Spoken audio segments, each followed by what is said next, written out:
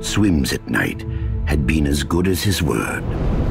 The tunnel led the adventurers straight into the White Gold Tower. This must be Lord Naarifin's study. Look, the Orb of Vaermina. That's how they're tracking the army. So it is.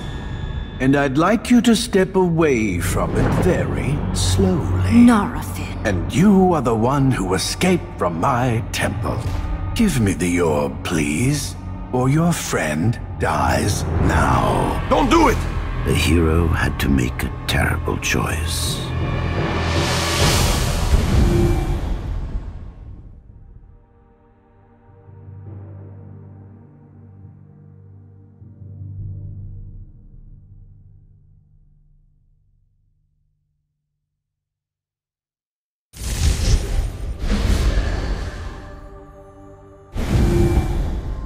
Thank you kindly. No!